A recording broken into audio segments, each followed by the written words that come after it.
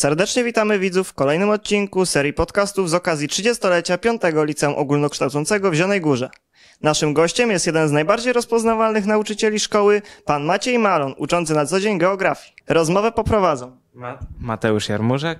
i Michał Staniszewski z klasy drugiej M. Przejdźmy zatem do pierwszego pytania.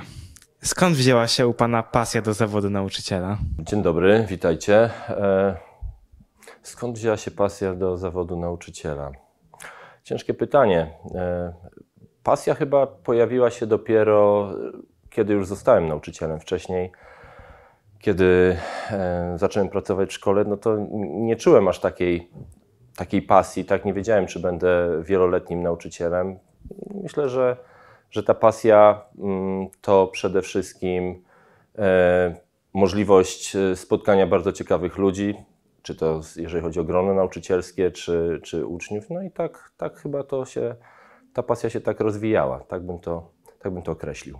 Jak wspomina pan początki y, swojej pracy w naszej szkole? E, W naszej szkole, e, to znaczy tak, e, uczę 22 lata, uczyłem w liceum numer 3, potem uczyłem w gimnazjum numer 7 przez wiele, wiele lat, dopóki pani Zalewska nie e, dokonała reformy edukacji. Natomiast jeżeli chodzi o naszą szkołę, no tutaj e, tak naprawdę mm, uczę odkąd szkoła się przeniosła na ulicę Zachodnią. Początki były, początki były bardzo specyficzne. Były dwa e, grona, można powiedzieć, nauczycielskie, dwie grupy ludzi, licealni i gimnazjalni. Mm, musieliśmy się tak naprawdę zjednoczyć w jednym celu, żeby, żeby poprowadzić dalej tą szkołę. Mm, Takie były, takie były czasy, tak, tak trzeba było to zrobić. I, no, wspominam je raczej bardzo pozytywnie. E, Bardzo dobrze przyjęty przez, e, przez ludzi ym, pracujących wcześniej w liceum. Zresztą też miałem uczyć w liceum, ale tak wyszło jak wyszło, że, że jednak e, nie zgodzili się na, na, na etat e, w, w liceum, żebym uczył wcześniej, jeszcze zanim ta reforma doszła. No i tak, tak poszło. Tak, raczej bardzo dobrze wspominam początki e, tutaj pracy. Jakie najmilsze sytuacje związane ze szkołą i uczniami najchętniej pan wspomina? Tych sytuacji było dużo, tak naprawdę bardzo dużo, ale taką jedną sytuację, to jeszcze w czasach gimnazjalnych byłem wychowawcą klasy, pojechaliśmy na Mazury, mieszkaliśmy w takim ośrodku, były domki, e, domki a w tych domkach mieszkały dwie klasy. No i w nocy, e, kiedy świeciło się światło, no wychodziliśmy na tak zwane patrole e, z kolegami, e, nauczycielami, no i no, żeśmy próbowali tutaj uspokoić, tak, no bo wiadomo, to, to okazja przecież młodych ludzi, żeby się dobrze bawić. No i tak to zabrzmi, ale zaczęliśmy podsłuchiwać pod oknem, o czym mówią. E, no i różne były, były rozmowy tych młodych ludzi na temat e, tego, jak szkoła funkcjonuje, e, co oni robią, tak, no były też, no, zdarzały się przekleństwa, no i rano, rano ym, podeszliśmy do nich na śniadaniu i ja mówię do nich, że e, dostałem informację z tutaj mm, z recepcji, że mm, mówiliście o tym, o tym, o tym i o tym, bo to wszystko zostało nagrane i no ja muszę niestety powiedzieć to rodzicom. Od tej pory mieliśmy spokój. Grzecznie spali. Tak, ja oczywiście powiedziałem, że jeżeli będzie spokój, no to, to nie będzie tutaj, nie pójdzie to dalej. Tak, no więc e, przedstawiłem im kilka takich informacji, które, które zasłyszeliśmy pod oknem, bo nawet nie wiedzieliśmy, kto to mówi, tak, bo były firanki, oczywiście nie widzieliśmy ich ani nic, ale, ale, ale potem te informacje były ten i oni nie wiedzieli, o co chodzi tak naprawdę, bo jeszcze do siebie dzwonili, e, bo tam można było z domku do domku dzwonić, więc no, mieliśmy taki ubaw, tak się śmialiśmy, no, inaczej patrzyli na nas, tak, i, i tutaj powiem szczerze, że no to, to na pewno będę pamiętał całe życie, tak, no tak, fajna sprawa na tych wycieczkach była. Kolejne pytanie. Jaką szkołę, szkołę wyższą pan skończył? Zacząłem e, wyższą szkołę pedagogiczną w Zielonej Górze, ale w trakcie moich studiów, e, chyba po dwóch latach, e, przemianowała się na Uniwersytet Zielonogórski i skończyłem tutaj historię. Natomiast e, drugie studia robiłem w Szczecinie na Uniwersytecie Szczecińskim, Wydział e, Przyrodniczy i tam e, skończyłem geografię. Jak pan wspomina ten okres studiów? No, okres studiów, jak to, jak to studia. E, e, bardzo przyjemne, e, przyjemny czas. Myślę, że to jeden z takich najlepszych okresów w życiu chyba każdego człowieka, który, który chce mm, kontynuować edukację po szkole średniej. Super ludzie, świetny czas na, i na naukę, i na, na zabawę. Świetnie, naprawdę dobry czas. Powiedział pan wcześniej, skąd się wzięła pana pasja do zawodu nauczyciela. A skąd się wzięła pasja do geografii? Mm, tak naprawdę od y, czasów szkoły podstawowej interesowałem się zawsze historią i geografią. Y, w czasach komuny, w, których, w których dorastałem, y, mm, patrzenie w, telewizor, czy ewentualnie czytanie gazet o, o świecie, który był dla wielu Polaków zamknięty, spowodowało, że no, gdzieś tam chęć podróżowania, um, tak naprawdę powiem szczerze, że no, to chyba było taka pod... najważniejsza rzecz, że tą geografią się, chociaż nauczycielka też, powiem szczerze, nauczycielka, nauczycielka w szkole podstawowej numer 12 gdzieś tam zainteresowała, zainteresowała mnie tematem geografii, gdzieś tą geografię od tej czwartej klasy, gdzie mieliśmy, gdzieś tam wygrywałem takie konkursy szkolne na, na geografa, E, szkolnego. No i tak, tak to gdzieś tam poszło. No flagami się jeszcze interesowałem, mapami ogólnie rzecz biorąc, uwielbiałem Atlas. Tak kiedyś nie było internetu, nie było tylu programów telewizyjnych, więc e, w ten sposób, w ten sposób gdzieś ta geografia utkwiła mi w głowie, w sercu i, no i dzisiaj jestem geografem. A był może jakiś przedmiot, którego pan nie lubił, który to Chyba nie będę oryginalny. E, tak, oczywiście to matematyka. E, matematyka zawsze sprawiała mi trudności, mimo że jest trochę tej matematyki w geografii, ale no, gdyby taka była matematyka, jak, e, jak ta matematyka właśnie w geografii, no to myślę, że, że nie mówiłbym dzisiaj tutaj o, o, o matematyce, bardziej o, może o chemii albo fizyce. Mhm. E, chcielibyśmy jeszcze zapytać o Pana młodzieńcze czasy, czyli co najlepiej Pan wspomina ze szkoły? Ze szkoły podstawowej, ze szkoły podstawowej to na pewno e, kolegów, Mm, klasę, bardzo lubiłem swoją klasę. E, to były trochę inne czasy niż dzisiaj. Mm, znaliśmy się wszyscy.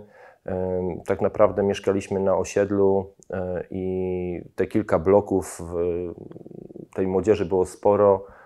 No i się po prostu no, kolegowaliśmy, bardzo dobrze się znaliśmy i to było na pewno fajne. Mm, wtedy nie myślałem w żaden tam sposób, nie oceniałem nauczycieli, robiłem swoje, co do mnie należy.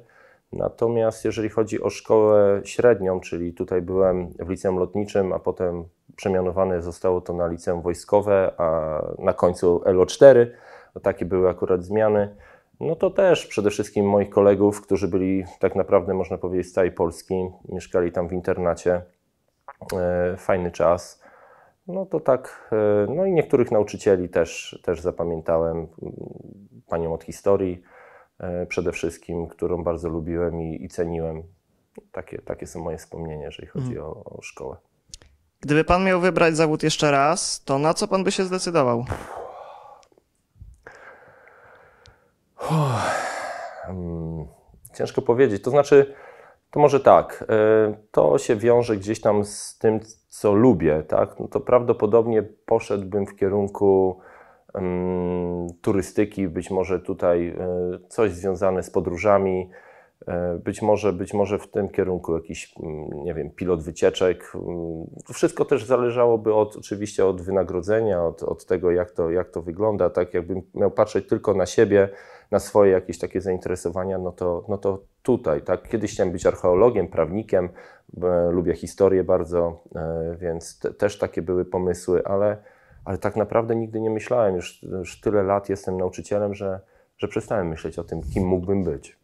Mhm. Y, wiadomo, że nie samą pracą człowiek żyje. Y, trzeba mieć jakąś odskocznię, pasję, y, która pozwoli zachować odpowiedni balans oraz przyniesie nam m.in. radość, energię oraz poczucie spełnienia. Zatem pytanie brzmi, jakie są Pana zainteresowania poza pracą?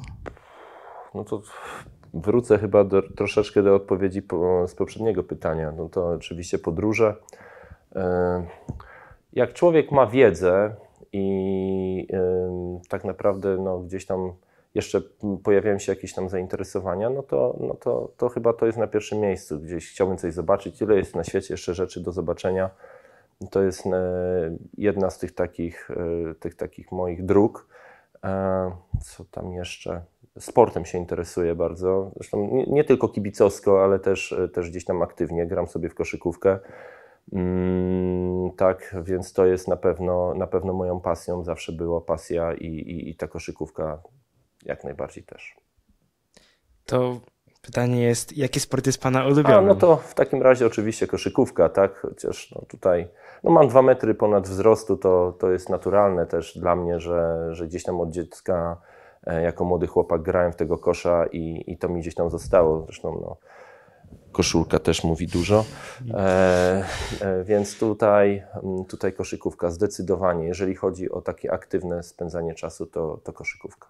A która drużyna jest Pana ulubiona? A, kosz, a to, to znaczy ja to tak... Mm, e, sporty lubię wszystkie, tak? Więc, e, więc e, czy jak mam tutaj o lokalnie o naszym falubazie rozmawiać, czy o zastalu, to, jest, to jest jasne, tak? Tutaj to, to by było dziwne, gdybym nie kibicował zielonogórskim drużynom.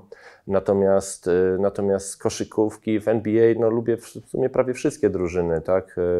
Jestem z pokolenia, nazwijmy to, Jordanowskiego E, więc Chicago Bulls gdzieś tam zawsze zostało w sercu, e, chociaż nie gra od lat dobrze, ale e, nie ma jakichś tam osiągnięć, ale to na pewno. Interesuje się też piłką, szczególnie angielską piłką, więc tutaj Liverpoolowi kibicuję. Tak to, tak to mniej więcej można skończyć z tym. Mhm. Podróże kształcą ludzi, wydają się nieodzownym elementem globtroterów. W związku z tym przejdźmy do kolejnego pytania. Jakie kraje miał już pan przyjemność zwiedzić? Geografia zobowiązuje. To jest e, dobre pytanie. E, geografia zobowiązuje. Mm, jasne. Mm, gdybym miał pewnie więcej funduszy, to pewnie bym już zwiedził dużo, dużo więcej miejsc. No, koncentruję się przede wszystkim na Europie. E, ale też udało mi być się w Stanach Zjednoczonych i zwiedzić wschodnie wybrzeże. To jest na pewno wielki, wielka sprawa, że, że mogłem tam być i zobaczyć Nowy Jork, Waszyngton, Boston czy Filadelfię.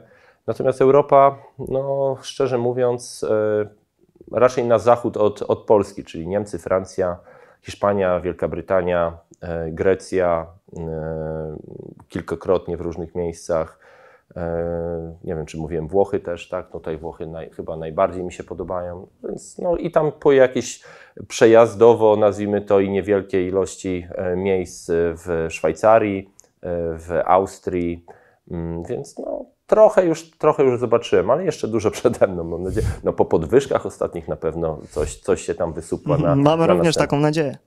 A czy ja lubi Pan także podróże po Polsce? Tak, oczywiście. O, to jest to jest ważna sprawa tutaj. Fajnie, że podjąłeś tutaj ten, ten temat, e, ze względu na to, że przez lata bycia wychowawcą, tak naprawdę zawsze proponowałem swoim uczniom wycieczki w takie nieoczywiste miejsca. To znaczy, no, dla mnie oczywistym miejscem jest Warszawa, Kraków e, czy Trójmiasto. Też tam byliśmy, ale przede wszystkim proponowałem zawsze swoim klasom miejsca e, mniej znane więc byłem z nimi na, gdzieś tam na Warmii, byli, byliśmy na Roztoczu, zwiedziliśmy Bieszczady, byliśmy na, w Beskidach, no w różnych, w różnych różniastych miejscach tak naprawdę. I wielu uczniów podziękowało mi za to, że takie miejsca wymyślałem właśnie, że gdzieś tam tworzyłem te wycieczki i uważam, że powinien każdy Polak, każdy Polak powinien zobaczyć jak najwięcej swojego kraju, a nie myśleć tylko i wyłącznie o tym, żeby, e, żeby wyjeżdżać gdzieś nad Morze Śródziemne, tak, i i e, chwalić tylko i wyłącznie e, osiągnięcia cywilizacji śródziemnomorskiej, bo to chyba najczęstsze jest właśnie miejsce do wypoczynku, czy, czy tak naprawdę zwiedzania. Tak? Mhm, zgadzam się z Panem, no, bo cudze chwalicie, chwalicie, a swego nie znacie. No właśnie. Skoro Pan tak lubi Polskę i podróże, to musi Pan też lubić kuchnię polską. O. A które danie jest Pana ulubione? Kuchnia polska. E, hmm. No. Mm, Szczerze mówiąc, nie jestem wybredny, jeżeli chodzi o jedzenie. E, nie mam tego w naturze. Zawsze powtarzam swoim uczniom, że e, dobrze, że mamy co jeść i, nie powinniśmy narzekać. Co do polskiej kuchni, powiem polska pizzeria, ale nie. E, hmm. Szczerze mówiąc, takiego ulubionego nie mam. Wszystko zjem. Tak, jakby żona to oglądała, to zaraz będzie pewnie komentować, ale e, jeżeli pierogi można nazwać polską kuchnią, to na pewno pierogi e, e, ukraińskie. Tak, to na pewno. No, lubię polskie zupy. No, przysłowiowego schabowego też bardzo lubię. Teraz troszeczkę inne pytanie. Ma pan może jakieś niespełnione jeszcze marzenia? Hmm. Kurczę, tak szczerze mówiąc, jeżeli chodzi o te marzenia, mm, to ja tak sobie je pogrupowałem. E, nawet chyba wczoraj sobie o nich tak trochę też wspomniałem, bo zbliża się majówka i mam taką grupę własnych marzeń. E, marzeń, które chciałbym z moją małżonką spełnić, e, marzenia z, mo z moimi dziećmi, czy z moją rodziną i marzenia, które gdzieś tam bym tak sobie zażyczyłbym tego dla, dla ludzi, ogólnie rzecz biorąc dla świata. E, więc moim marzeniem było zawsze, e, zawsze mm, zobaczenie jak największej ilości ciekawych miejsc, e, ale tak naprawdę moim takim marzeniem, gdzie moja żona nie za bardzo e, może chce w tym uczestniczyć, aż, aż tak bardzo, bo też chętnie by pewnie zobaczyła, to są wydarzenia sportowe, czyli Igrzyska Olimpijskie. I teraz mamy wielką okazję i na 99% spełni się moje jedno z marzeń, czyli będę mm, uczestniczył jako kibic w Igrzyskach e, letnich w Paryżu. Później za dwa lata są w Mediolanie i w okolicach Mediolanu, więc mam nadzieję, że też zimowe, e, zimowe igrzyska też. No, oczywiście wydarzenia sportowe, chciałbym być na meczu NBA, kiedyś na żywo zobaczyć i, i, no i wiele tych takich, takich właśnie gdzieś tam pod moje pasje. A reszta, reszta marzeń z moją żoną to oczywiście podróże. Z moimi dziećmi y, wiąże się tutaj przyszłość przede wszystkim, więc mam jakieś marzenia takie, myśląc o swoich córkach, jak będzie wyglądało ich życie.